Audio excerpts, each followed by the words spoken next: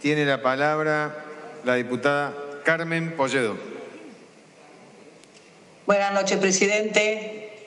Buenas noches, eh, colegas. Ante todo, quiero expresar mi más absoluto y profundo agradecimiento a todo el personal eh, de salud que está batallando esta terrible enfermedad, eh, poniendo en juego su propia vida y la vida de sus seres queridos.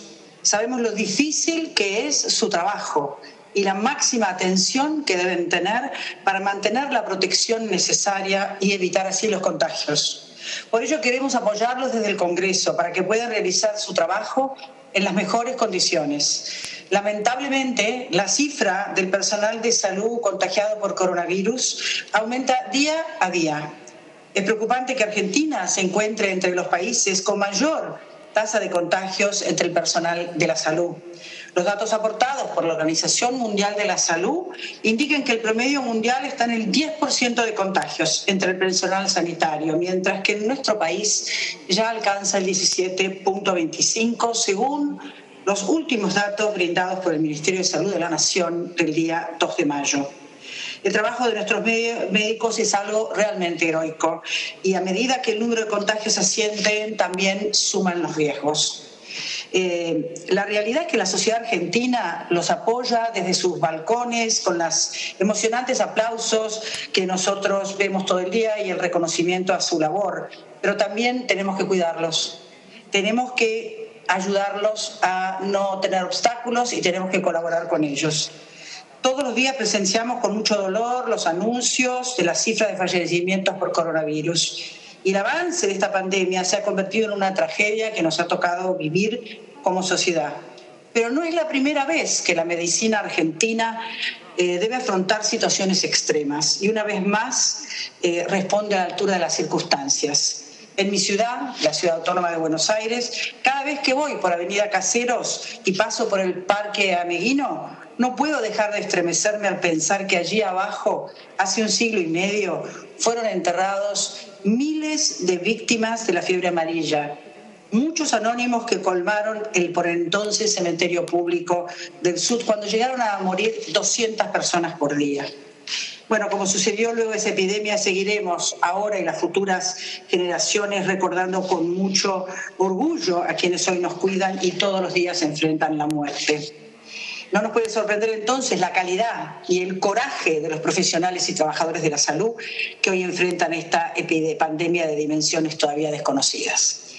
La peste que estamos enfrentando expone a los mezquinos, exhibe las mentiras de los relatos y desnuda las miserias, pero también pone en relieve a quienes, más allá de las pertenencias partidarias o ideológicas, dejan de lado la política menor y se ponen los problemas al hombro. Con ellos estamos trabajando y apoyaremos cada cosa que hagan en beneficio de la gente. En este momento, pretender sacar ventaja política es un error que será juzgado por la posteridad. No me parece que sea el momento este del debate, pero no puedo quedarme en silencio cuando mencionan a mi ciudad. Los porteños saben perfectamente todo lo que se ha hecho en beneficio de los barrios populares todos lo saben, hasta los compañeros de bloque de donde partieron los agravios, que hace solo un mes atrás nos criticaban porque decían que hasta los helechos estaban iluminados. Se sabe lo que está pasando porque estamos trabajando allí, el gobierno de la ciudad y el gobierno nacional, juntos. No se sabe que lo que pasa, dónde se hacen los testeos, pero se sabe dónde sí se hacen los trabajos. Dicho esto, vamos a acompañar el proyecto que establece un programa de protección al personal de salud ante la pandemia del coronavirus, el cual hemos trabajado y realizado aportes. Sin perjuicio de ello, hay un punto que todavía nos preocupa, que es el artículo 6, el inciso F, en donde si bien es cierto que esté utilizando la información del personal de salud contagiado para evitar posibles contagios, la creación de un registro único de personal de salud contagiado por COVID-19 nos parece un instrumento muy delicado y que debería tener eh, rodeado de severas restricciones y limitaciones en su acceso y el uso de la información. Seguramente la reglamentación cuidará estos detalles. Pero más allá de esta diferencia, eh, sobre si hacer o no un registro único, quiero agradecer especialmente al diputado Buca por haber aceptado varios de los cambios que le propusimos. Consideramos que esta ley es importante y muy necesaria en estos momentos.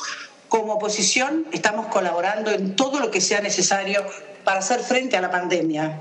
Hoy nos toca sesionar de manera virtual en un momento histórico para esta Cámara y para nuestro país. La pandemia nos exige a todos que estemos a la altura de las circunstancias y demos nuestra máxima dedicación para cuidarnos y cuidar a quienes están más expuestos a esta enfermedad.